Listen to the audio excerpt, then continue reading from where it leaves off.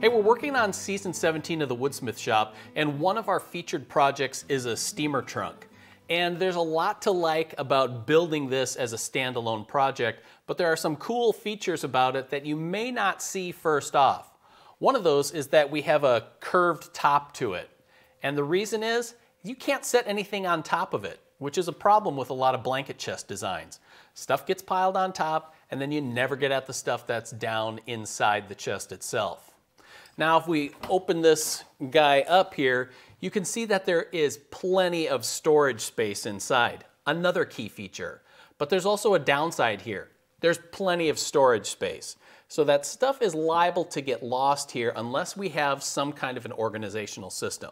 So that's what I'm going to be doing in this video. What we're going to do is we're going to add a sliding tray. It takes up about half the size of the inside here, just a few inches deep but it's going to ride on some runners, so you can position it anywhere you want. You can keep some smaller items up in the tray, slide it out of the way, and you still be able to get to the stuff down below, or even pull the tray out altogether and be able to get at really bulky items that you have stored inside.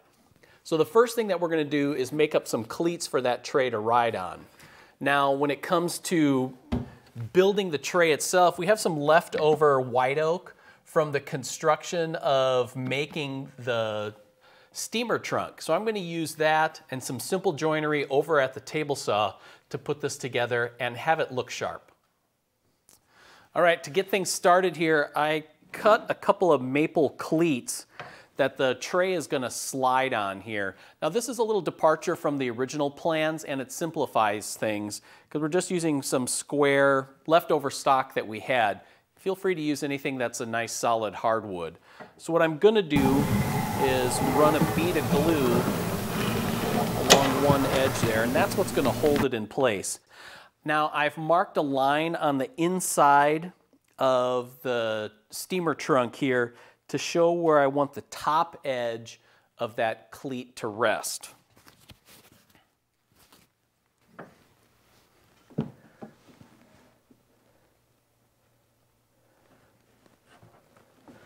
I'll get it lined up and then I'm going to use a pin nailer to tack it in place.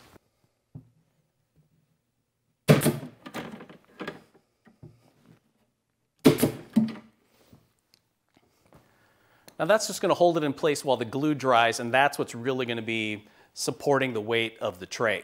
I'll get this other one attached, then we're over to the table saw to start on the joinery for the tray.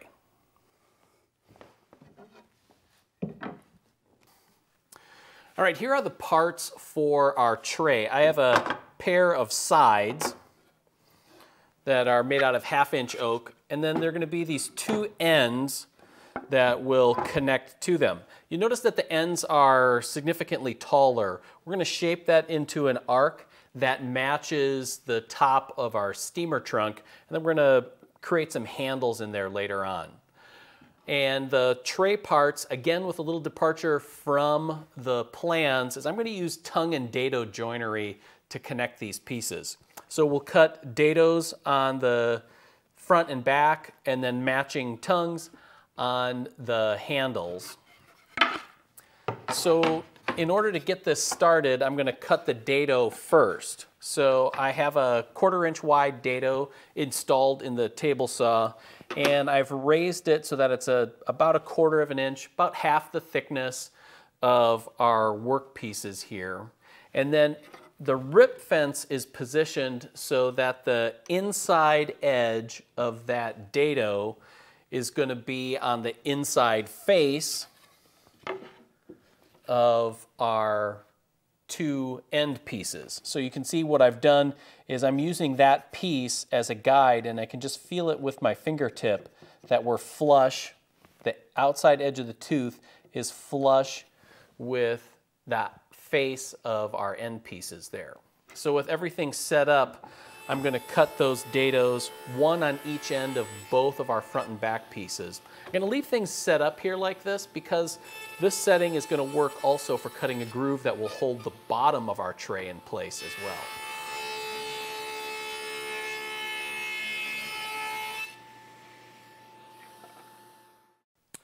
All right, the other half of the joint is to form a tongue on the ends of our two end pieces that'll fit into that dado. Now, here you're going to be going right off of both the workpiece and the existing dado that you have here to dial it in. Rulers and measurements aren't really going to help. What you're looking for is for that tongue to be a nice press fit into the dado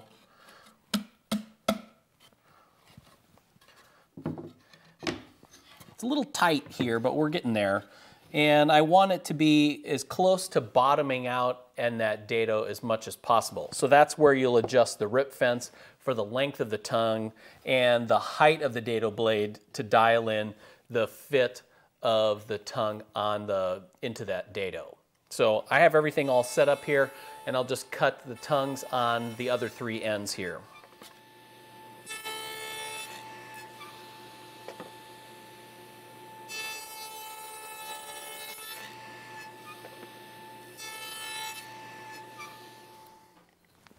All right, with the joinery complete on the tray parts, we can now move into the function and comfort of it. And on these two end pieces, we want to add some handholds to be able to lift the tray out easily. Also adds a little design flair to it. Now those handholds start as a pair of end holes that we're going to drill on our ends. So I have those marked to be centered on our end pieces and we'll set up a one inch Forstner bit here at the drill press and the fence to keep everything aligned. Now the second stage in creating our handle is clearing out the waste between our two holes. And we're going to do this in two steps. And the first is to just cut away the bulk of the waste, which I'm doing here at the bench using a jigsaw. A couple of key points here.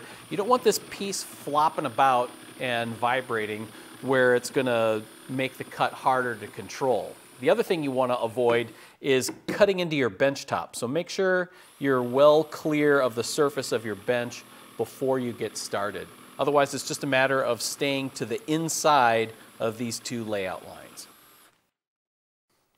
All right, the last step in making our handhold slots is to clean up those edges and bring them into alignment with the edges of our circles that we drilled out.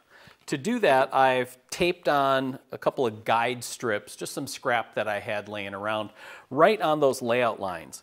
Then I can set this over the top of a flush trim bit here in the router table and then just buzz each side of the handhold to clean it up.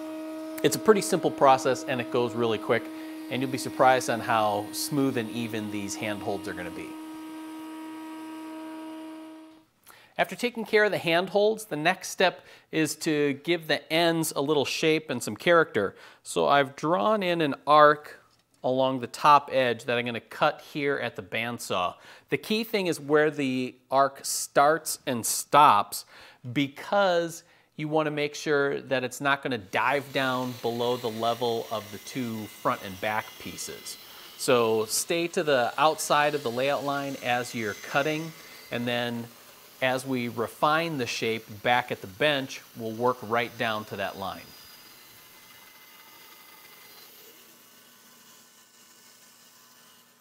Now the bandsaw leaves a pretty rough edge on the curve here and what I want to do is transition that from a rough cut curve to something that's smooth and even. And then we also want to work down to our layout line on the end so that the end transitions really smoothly into the front and back of our tray. My tool of choice for this is actually a block plane. While you normally would think of that as a flat surface tool or for trimming, it does a great job on these gradual outside curves like this. There's a little technique involved in it. What you want to do is apply enough pressure right in front of the blade so that you keep the blade engaged. You don't have to worry about the tip of the block plane getting engaged. And then your other hand is just kind of driving it forward.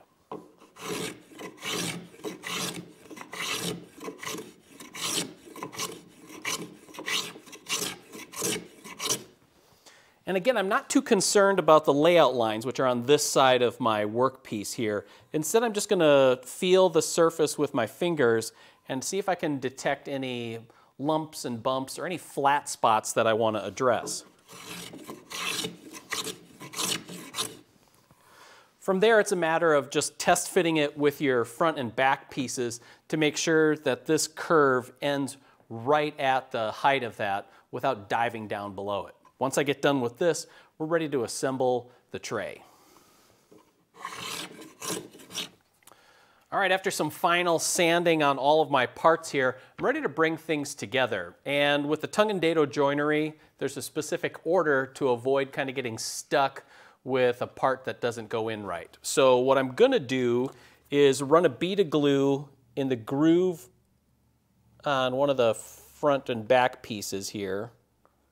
That'll hold the, the bottom. Then I'm gonna do the same thing, bead of glue in the dados and then a little bit on here. Same thing on this other side. Brush it out just to be neat.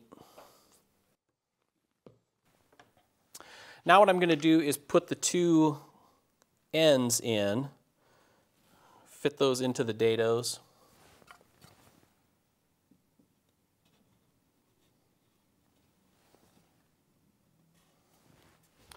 And then I can add the bottom.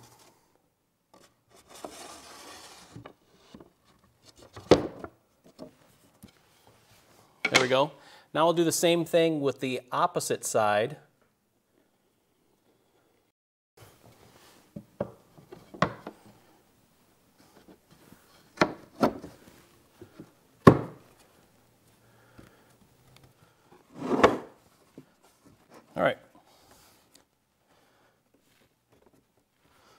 Lay it flat here. Now we can add clamps.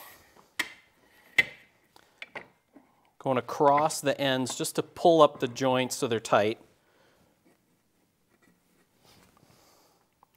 There we go. In just a little bit, we'll be able to take the clamps off, set it in place on the trunk. Well, here's the moment of truth. Well, not really. I tried it out before cameras started rolling. You can see how the tray fits in place here. Slide it around to get at whatever you want down in the bottom of the steamer trunk or move it wherever you want. This is a great project to add organization, not only to a steamer trunk like this, you can use these same techniques and approach to add a organizational tray like this to other blanket chests or other large chests that you have, toy chest. Even deep drawers and dressers can sometimes benefit from a little bit more organization. So if you're interested in the plans for the steamer trunk and the tray that goes inside it, you can get it all at woodsmithplans.com.